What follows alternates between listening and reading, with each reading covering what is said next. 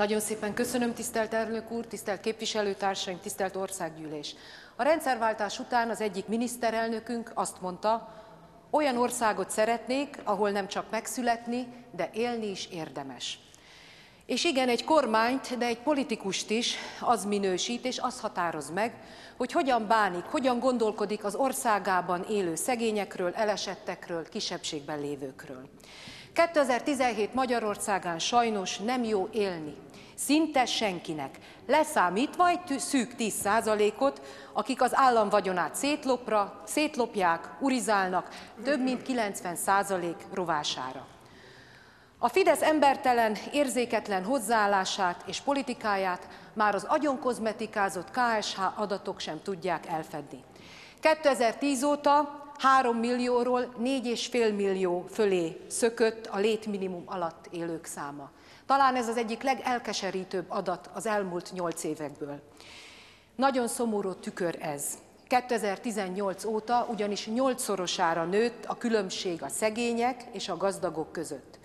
Az önök pervers gazdaság és társadalompolitikája elérte már azt, hogy a családok 50%-a vagyontalanná vált, és minden harmadik magyar család képtelen megteremteni önmagának és szeretteinek a normális, méltó élet feltételeit Magyarországon.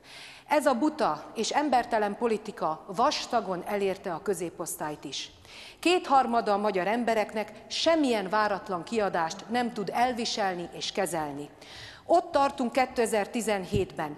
Ha van pénzed, akkor kapsz normális egészségügyi ellátást, ha nincs pénzed, beteg maradsz. Ha van pénzed, hozzá tudsz jutni jó minőségű oktatási szolgáltatáshoz. Ha nincs pénzed, nem tudod tanítatni a gyerekedet.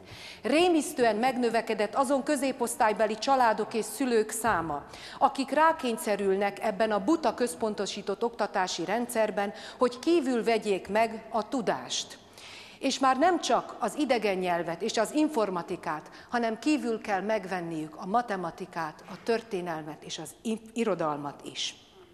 És akkor itt tenném hozzá, egy kormányt és a politikusaikat is az minősíti, az határozza meg, hogy hogyan bánnak a gyerekekkel, hogyan gondolkodnak a jövőről, a jövő generációnak a lehetőségeiről. És ha van a Fidesznek 2010 óta deficit, és szégyen és keserűség az az, amit az oktatási rendszerrel csináltak. Nyolc év alatt elérték, hogy lassan mindenkinél rosszabbul teljesítenek a magyar gyerekek. A legutóbbi PISA eredmények világosan megmutatták a rombolásnak a mértékét. Önöknek sikerült visszafordítani azokat a nagyon nehezen elért korábbi eredményeket is, amit jobb és baloldali kormányok erőfeszítései révén elértünk a rendszerváltás után.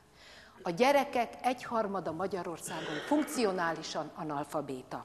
Tudják, ez az a szó, amit Balogh Zoltán, oktatásért felelős is miniszter, nem ismert. Talán sajnos ennek is köszönhető, hogy 2010 óta 10%-kal növekedett a funkcionálisan analfabéták száma Magyarországon.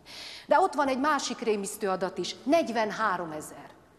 43 ezer gyerek esett ki a magyar iskola rendszerből 2011 óta, amióta a tankötelezettséget leszállították 18 évről 16-ra. Hol vannak ezek a gyerekek? Nincsenek a bűnügyi statisztikában, nincsenek a köz, közmunkás statisztikában.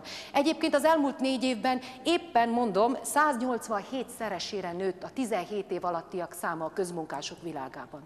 Önök ezzel legalizálták gyakorlatilag a gyerekmunkát. Hogy fognak ezek az emberek adót fizetni és megélni? De ott egy másik szám, 30 ezer. Májusban több mint 30 ezer gyerek fog egy olyan tantárból érettségizni, amit még karácsonykor sem tudtak, hogy pontosan mi a követelménye.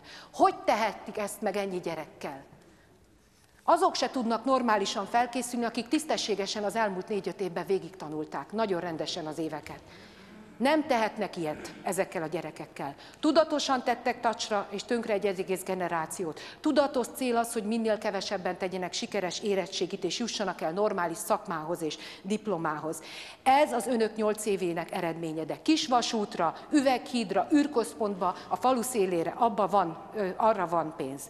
A magyar gyerekeknek a magyar gyerekekre pedig semmilyen forrást nem szánnak, vagy alig.